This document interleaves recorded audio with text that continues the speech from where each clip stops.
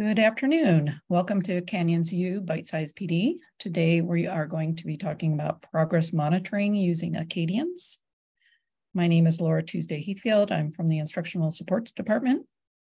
And if and when you join in, um, feel free to um, share your most burning question about progress monitoring. Just in case you haven't seen these before, these are our professional development norms. Um, be committed, be responsible, be respectful, and be safe.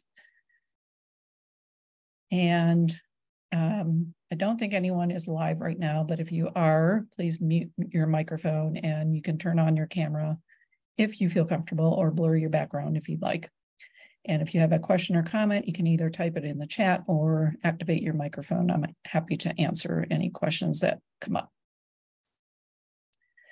So we are going to be talking about uh, progress monitoring, which is connected to um, Canyon's multi-tiered system of supports framework, specifically um, data for decision-making and student performance data, and even more specifically, uh, monitoring student academic growth.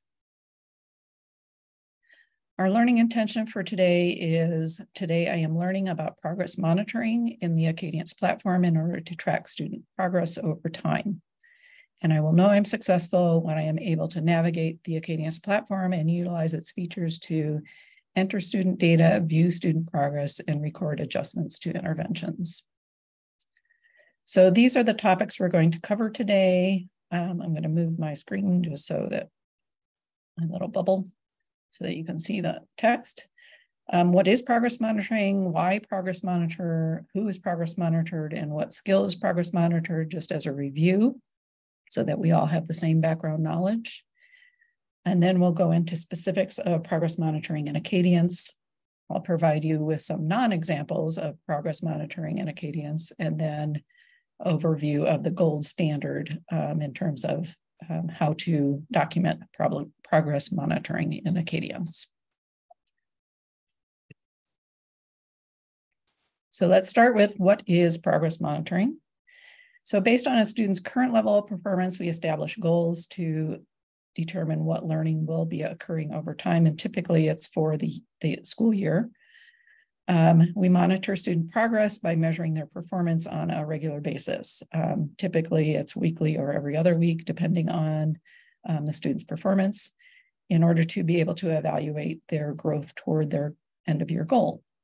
And their level of progress is determined by comparing their actual rate of learning to the expected rate of learning so that we can make adjust adjustments to instruction. It is a powerful strategy. Progress monitoring has been demonstrated to have a high effect size on student achievement, especially when those data are graphed and shared with students so they have a visual of their uh, progress over time. Why progress monitor? So students who are significant, significantly behind in basic skills such as reading and math need to have um, intensified instruction accompanied by that frequent monitoring so that we can evaluate how they're growing toward their goal. And students are likely to respond to those evidence-based instructions differently based on their skills. So it's not an exact science. So even if a, a student has a similar level of skill as another student, they may um, advance at a different rate than their comparison student. So, and we also don't know that this specific intervention will work with this specific student. So some of it's trial and error, and that's why we need to be monitoring their progress over time so that we can make adjustments and find something that might be better um, for them in terms of making progress. So progress monitoring allows us to make decisions based on their pattern of performance rather than those isolated pieces of information such as benchmark performance. Those are only occurring three times a year. And so if a student is behind, that doesn't give us a lot of information to adjust um, instruction around. Um, a lack of adequate progress should prompt that problem solving and um, intensification of interventions that we're using. And there, the we can improve student outcomes when that performance is assessed regularly. Like I said, if we don't, if we're only monitoring um, every once in a while, it's going to um, we're going to miss the opportunity to make those adjustments to improve their performance.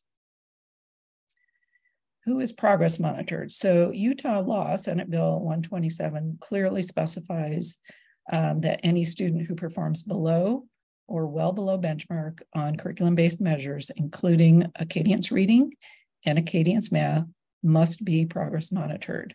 Obviously, the State Office of Education, State Board of Education realizes the power of curriculum-based measures and they also realized that um, schools are not using it as much as they should be to impact student performance. So the frequency that's required by Utah law um, is based on the student's benchmark performance. If a student performs well below benchmark, they should be monitored every one to two weeks, and they should be getting both core and intensive support. If a student scores below benchmark, they should be progress monitored every two to four weeks, and they should be receiving both core and strategic support.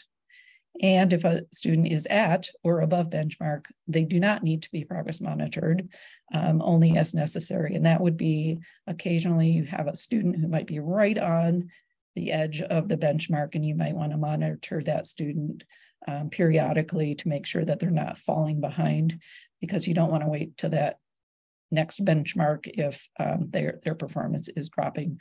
Or there may be other um, information that you have about your student in the classroom that makes you think that perhaps they are not getting the skill that you are teaching. And so um, you might want to um, do a progress monitoring probe. However, it should not be as frequent as we are um, assessing a, a student who is well below or below benchmark. And then progress monitoring is no longer necessary for those students who are below or well below if they are consistently performing above benchmarks. And once they reach that level of performance, we no longer need to progress monitor at that frequency. Um, what skill is progress monitored? we refer to the hierarchy of skills to determine what skill that is. And so we're going to target the lowest um, skill level depending on their performance. So for example, in reading, if a student is performing at benchmark on um, phonemic skills, it may be that we're targeting oral reading uh, skills for um, to progress monitor because that's the skill that they're deficient in. However, if a student is deficient in all of those skills, you would start with first sound fluency because that's the lowest skill level. And that would be the target of your progress monitoring. Um, similar with math, there's that hierarchy, and we would go with where the student is struggling um, at the top of that list and moving down. So benchmark proficiency and growth, there are four benchmark levels in Acadience. And basically the benchmarks determine the odds of the student achieving later reading outcomes. So the odds obviously are better if the student is at or above benchmark than they are if they're below or well below benchmark. Pathways of progress, on the other hand, provide a normative framework of comparison to help us set goals for individual students. And I'll talk a little bit later about ambitious, meaningful, and attainable goals. But it helps us to evaluate student progress in comparison with other students who are performing at the same level. So a student who performs um, with a certain score at the fall benchmark, that's who that student is compared to um, in terms of the pathways of progress. The pathways of progress are designed to be used in addition to, not in place of benchmark goals. So there's really two targets that we're um, looking at for student growth and student performance. And that is their benchmark proficiency and their pathways of progress. So the pathways help clarify what rate of progress is typical um, for a student who's performing at that level at the fall benchmark. So it's a dual lens. Like I said, we want to uh, make sure we're focusing both on benchmark status and pathways of progress. So we don't want to ignore one and focus on the other. We want to make sure that we have a handle on both of those, particularly for students who are um, struggling in attaining the academic skill. So in Pathways of Progress, there are five levels, um, ranging from well below typical to well above typical. And um, these will appear in their uh, Acadience platform based on their progress over time so that you can see what level of progress that they're making in comparison with other students who have the same skill level as them. So I briefly mentioned the ambitious, attainable, attainable and meaningful goals. These are all guiding principles of how to set a goal in Pathways of Progress. So we want them to be ambitious because we want to move students who are um, below typical growth and uh, move them toward a goal by the end of the year. We also want them to be attainable. We don't want to make a goal so high that they're not realistic for that student because that can um, result in frustration both on the student and teacher's part. And we want it to be meaningful. We want the outcomes to um, have a meaningful impact on that student in terms of their learning. So general guidelines for using pathways, uh, meaningful goals increase the odds of achieving important outcomes. So typical, below typical, and well below typical progress are really not eh, very ambitious for students who are likely to need support. So that's usually not a goal that we're going to choose for a student who's below benchmark, for example. Above typical progress is usually both attainable and ambitious for students who are likely to need support. However, that well above typical progress may or may not be attainable for students who need that support. So some individual professional judgment comes into play here. This would be um, great, um, perhaps focus of a PLC with your team if you're struggling to know where um, to set a particular student's goal. Some questions to consider when you're setting goals for students. What rate is above typical progress compared to other students with similar initial skills? What rate of progress would be necessary to be able to narrow that gap um, with students who are making adequate progress? What rate of progress is needed to achieve important benchmark goals? So again, we're looking at that rate of growth and the benchmark, that dual um, focus. And then what rate of progress is necessary to reduce risk? Again, that's that benchmark prediction and increase the odds of achieving subsequent goals. So the next section, I'm going to talk specifically about using the Acadience data management platform. Um, you would be logging into acadiencelearning.net using your teacher login or coach login. And um, I'm going to first talk about how to set goals in Acadience. So in your homepage, once you've logged in, um, you're going to select data entry and pathways of progress goal setting. And this will give you a pop-up uh, window that likely just has your school and your grade in your class. However, if you're coach, you would might have multiple grades and multiple classes to select from. Once you target that, um, you submit that, and that um, group of students will pop up. Um, handily, it, when you start, um, when that pop-up opens, it also gives you, the Acadience platform gives you this section on guiding you through setting pathways. So it's basically a summary of what I'm going to go through right now, but it's always there, which is great.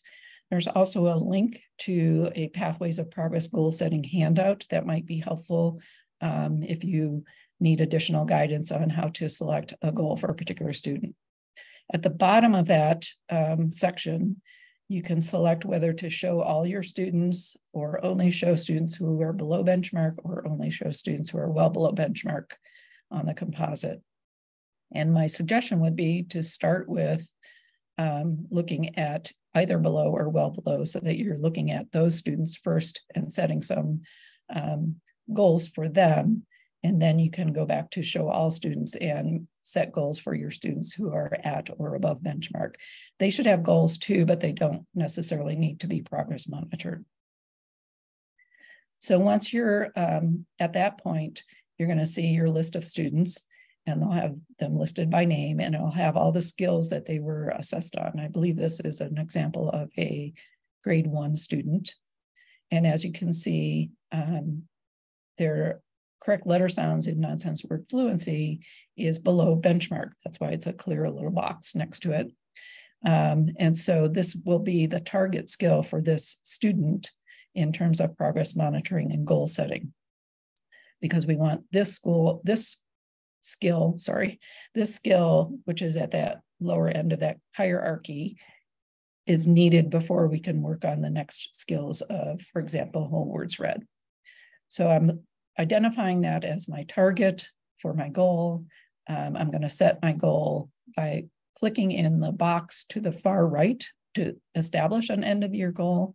And once I click on that box to set the goal, it, the um, program is going to pop up with what would what might be a good goal for each of those pathways of progress. And remember, we said we wanted to um, focus on above typical or well above typical to um, be sure to close that achievement gap. So I'm looking at this and it gives a suggestion of 65 if I'm focusing on a well above typical and a goal of 57 if I'm looking at above typical. But recall that we want that dual focus on both pathways and benchmark. So I also know that my grade one end of year benchmark for correct letter sounds is 58. So I definitely want to make it at least 58 because I want the student to reach the benchmark by the end of the year. And if I look at that um, above typical range, they're suggesting a 57, which is just below that benchmark range. So I'm probably, and they're also giving you a range of what would be above typical growth. And so anywhere in there could be a target for your end of year goal that you could enter in the box. And I would probably select 58 or around 58, 58 or 60 or something like that to um, enter into the uh, platform. So that's basically the process is to consider what pops up in terms of that above typical to close the gap. I could select well above typical, but that's a pretty huge jump for this particular student because they're at 12 right now and to get to 65 or above by the end of the year might be a challenge. So right now I might set my goal more toward the above typical pathway and maybe make an adjustment at the at the mid-year benchmark depending on their performance. And then this is the process for, so once I enter my goal, now I have my goal displayed in um, Acadience and I can enter progress monitoring data to um, track their progress with that goal. And so back on that homepage, we're back to data entry, but now we're going to select enter progress monitoring. And again, you're going to get the pop-up um, uh, window with choices of class and which students to show. Um, you can show all students or just students with scores. It doesn't, um, most of your students are going to have scores anyway. So once you're in there, you'll, you'll have all the different skills um, that are assessed by that measure. And I'm focusing right now on reading. Um, at the top is the toggles for um, the months of the year. So we're currently in May and we're currently in the first week of May, I think. Perhaps we're in the second week. No, we're in the first week of May. And I now I'm looking at nonsense word fluency, which is my goal for three of my students, student three, student four, and student seven. So I've done my progress monitoring on nonsense word fluency for um, first week of May on those three students because that's their goal goal um, in terms of progress monitoring. So I'm going to enter those scores there. And you can see for the nonsense word fluency, you do get two scores. You get um, correct letter sounds and whole, whole words read. It's the one subtest, but you do get two scores. So it's kind of a bonus, even though we're uh, monitoring correct letter sounds for our target and goal. We also have the um, uh, additional information of whole words read, but correct letter sounds is our target. So using those data as we collected over time, um, we use that data then to guide our interventions. So we've identified our instructional target based on our data. So it's correct letter sounds for that particular student. And then we want to match the instruction to the intervention or intervention to the assessment results. So I wouldn't be assessing on um, um, word fluency or reading fluency if my target is correct letter sounds. I would be assessing on what I'm intervening on. I'm giving that student additional um, phonemic awareness and phonics instruction so that they can improve that score, that's what I'm going to assess on as well. So if we're noticing that the student is not responding to that intervention that I've um, planned, the first thing to ask is, was the intervention implemented with fidelity? And this is one question that we forget to ask a lot. We just say it didn't work or it worked. But what is it about the intervention that in implementation uh, data that we have um, that suggests that it is working or is not working. So how do you know? Are you collecting data on how the intervention is implemented, the frequency, who's inter who's intervening, how the student is doing during that intervention uh, session. And then does the intensity of the intervention match the student's needs? So we want to look at the duration or frequency of the intervention, the group size, maybe the student performs better in a one-on-one or two-on-one um, size as opposed to a group of three or four. Uh, level of motivation, can we improve um, um, motivators that we provide during that intervention to make it um, more successful?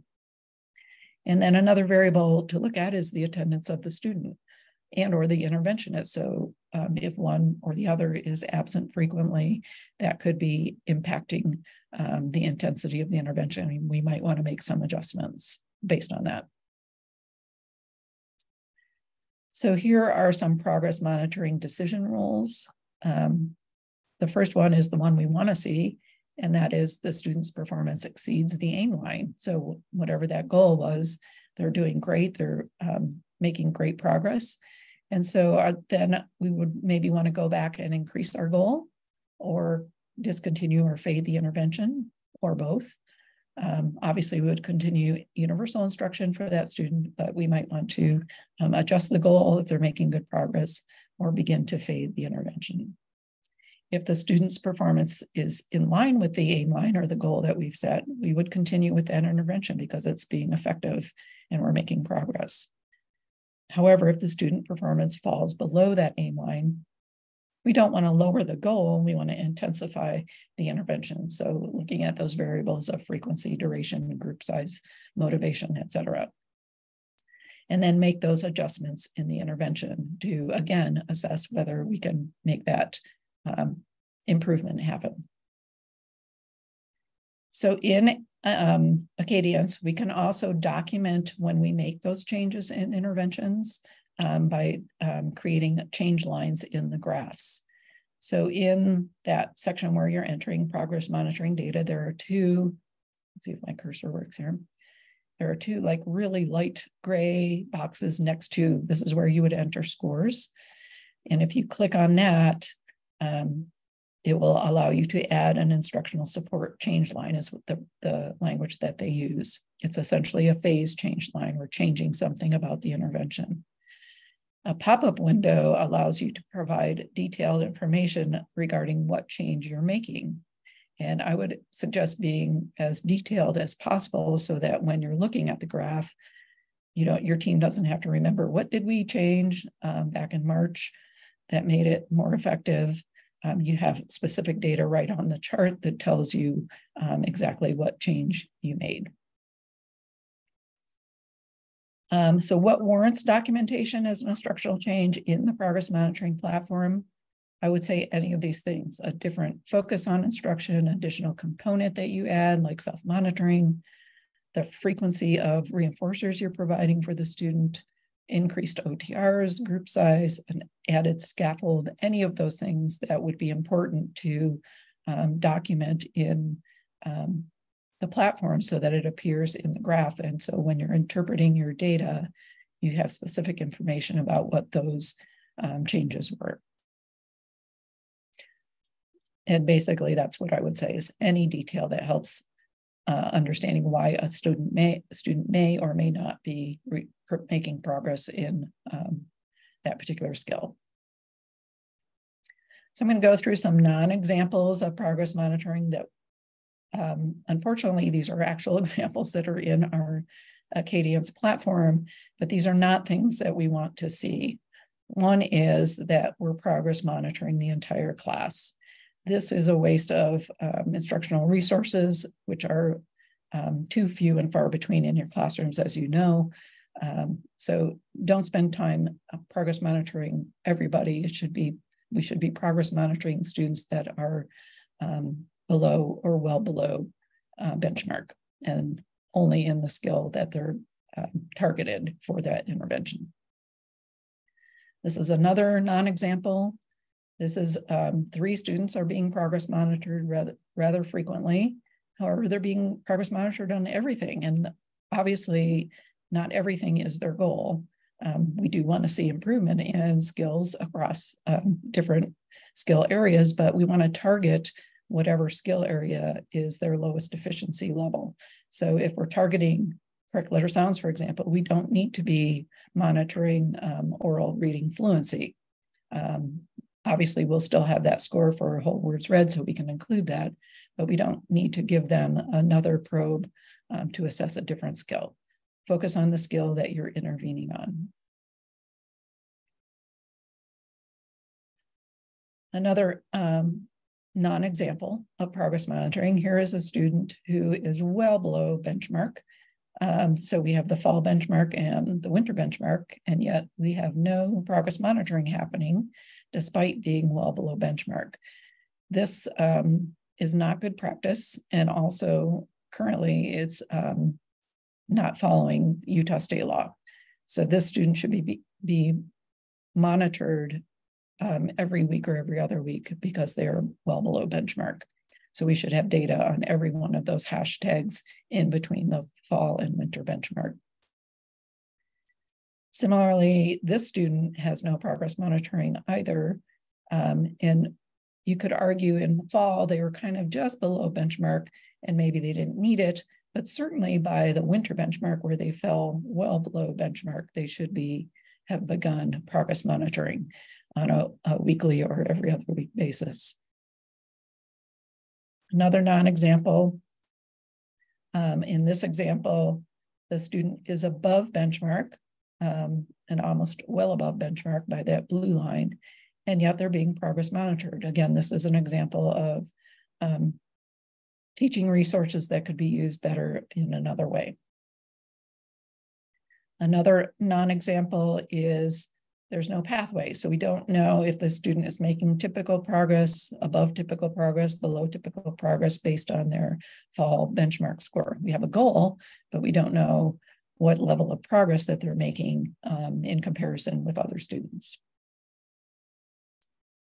And then this is a non-example. This has um, the pathways identified, but no goal. So we don't really know what we're aiming for. And um, more importantly, the student doesn't know what they're aiming for. What is my goal and how am I progressing toward that goal if I don't know what my goal is? So make sure you identify a goal for your students. And then this non-example, um, obviously the student is being progress monitoring. They are below and well below benchmark. Um, obviously it's not working whatever intervention we're doing. And maybe there were changes that were made, but there's no documentation that um, any changes were made or any adjustments in the intervention. So make sure you include changes in your interventions in um, the platform. So this is a gold standard of what your progress monitoring reports should look like. So there is an end of year goal. There is a focus on one target skill monitored at the required frequency. You can see this is weekly and the student was well below benchmark. Um, the pathways are there so that colored lines represent the different pathways. The student um, was having some struggles, but it looks like there have been two changes um, in the intervention. So the intervention change lines are there. Um, the descriptions are below. My cursor works here. So number one was, we, which is this one, we changed the focus of instruction. I would probably give more detail than that, than just change the focus, like what was it changed to? And then number two, change in group size. Again, I would be more specific of what the change was. We increased it from two to four, or we decreased it from five to two, whatever it might be. So that would be what we're aiming for in the platform um, to have all the elements um, documented in the platform. So it's very easy to pull up and anyone on the team could um, um, interpret it in the same way. So let's revisit our learning intention and success criteria. Hopefully you have been learning about progress monitoring in the platform in order to track student progress. And you will be successful as you navigate the platform and utilize the features to enter student data, view student progress, make those adjustments to interventions as they're needed, and record the adjustments to interventions. Um, something to think about as you exit today. What adjustments are you planning to make to your progress monitoring practices? And I would also encourage you to consider how might your PLC use student performance data differently for instructional decisions. So how could your PLC use student progress monitoring data to inform um, your instruction across um, the PLC members? Thank you for joining us today. Um, these are some important links for you to be able to get back to Canyons U or the Bite Size PD page, as well as information about relicensure. Um, you can also contact me if you have any questions about progress monitoring. I'd be happy to chat with you more. Uh, thanks for joining us, and hopefully we'll see you next time.